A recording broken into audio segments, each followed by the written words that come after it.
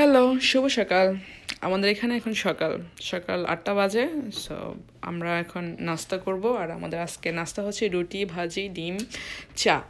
So আপনাদেরকে দেখাবো আজকে। আসলে আজাইরা তো কিছু করার নাই, তাই ভিডিও করতেছে। আর অনেকে বলবেন, আজাইরা, আল্লাহ আল্লাহ করো। আসলে নামাজটা পড়ে আসছে।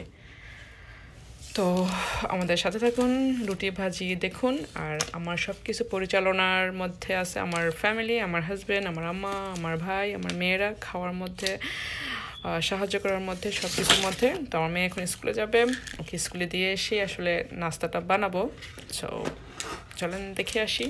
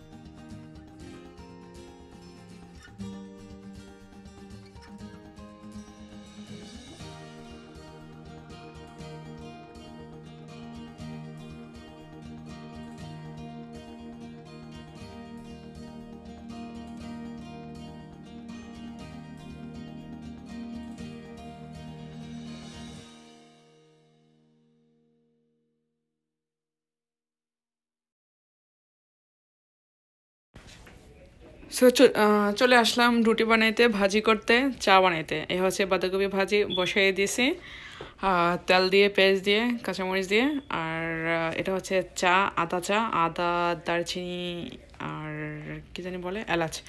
আর এটা হচ্ছে ফ্রোজেন পরোটা, এটা আমার হাজব্যান্ড খাবে, ওনার তারা আছে জন্য উনি চলে যাচ্ছে, রুটি বানানো পর্যন্ত উনি ওয়েট করতে পারতেছেন না। সো ওনাকে এটা দেব আর এখানে ভাজি হচ্ছে, আর তো ভাজিতে পেঁয়াজ, কাঁচামরিচ তো বললাম। সো এগুলো দিয়ে এখন একটু হলুদ দিয়ে দিবে, হলুদ দেবো। তো হলুদ দিয়ে দিলাম। তো এখন ভাজি রান্না হচ্ছে।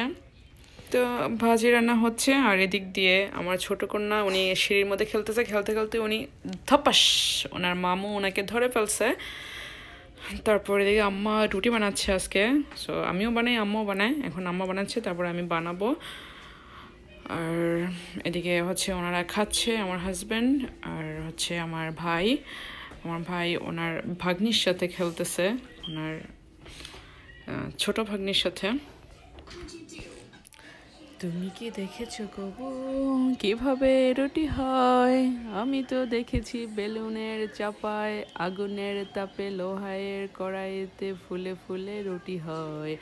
ফুলে ফুলে রুটি হয়। আসলে এই গানটা নিয়ে অনেক আগে দুষ্টামি করতাম এইভাবে রুটি নিয়ে গানটা যখন নকল করে গাইছিল তখন। সো আজকে আমার রুটিটা সুন্দর করে ফুলছে। এটা দেখে গানটা মনে পড়ল তাই গাইলাম মাসাল্লাহ রুটিটা সুন্দর করে ফুলছে।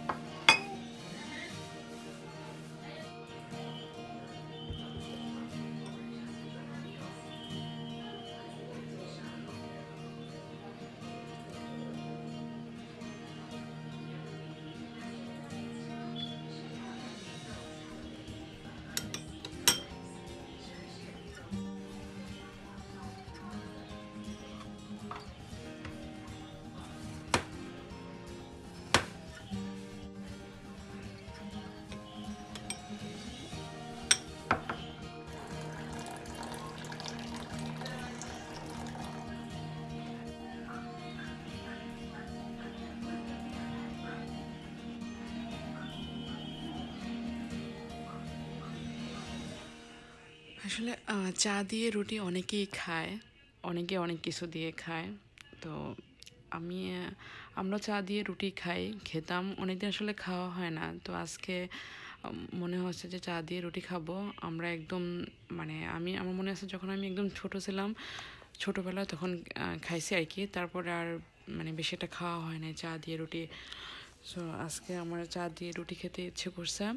সো আমরা ছোটোবেলায় আগে এরকম করতাম, রুটিটাকে এরকম ফোল্ড করে তারপর এভাবে চা উঠাইতাম। চা উঠে তারপরে খেতাম রান্নাঘরে। আমি আসলে একদম গ্রামে বড় হয়েছি। সো গ্রামে যে রান্নাঘরগুলো থাকে মানে মাটির চুলা, তারপরে উপর দিয়ে ছাউনি, এরকম আর কি। তো আম্মা রুটি বানাইতো আর আমরা মানে পাশে বসে খেতাম আর কি এভাবে, চা দিয়ে রুটি। তো আসলে মানে ভালো লাগতো তখন আরও অনেক মানুষ ছিল, খেতাম, ভালো লাগতো। তো অনেক দিন পর আসলে এই জন্য চা দিয়ে রুটি খেতে ইচ্ছে করতেছিল।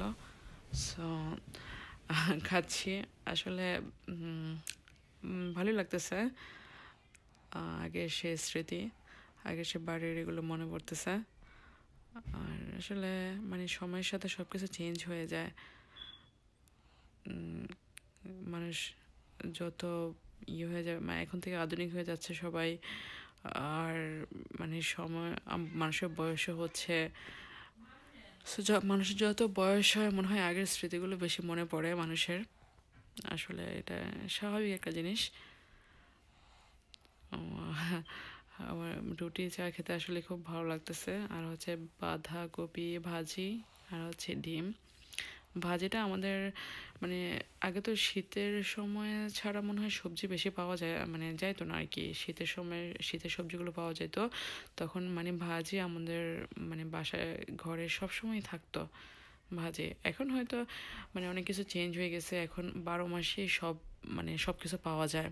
কিন্তু তখন মানে এরকম ছিল না গ্রামে তো আসলেই না। তো বাঁধাকপি ভাজিটা আমাদের বাসা অনেক বেশি পছন্দ রুটি দিয়ে। এটা সব সময়ই থাকে। ছিল নাও এখনও এখনও আছে আমাদের। আমরা এখনও খাই। বাঁধাকপি, গাজর, আলু একসাথে করে ভাজি। সো আসলে ভালো লাগতেছে খুব। আমি রুটিটা খেয়ে নিই।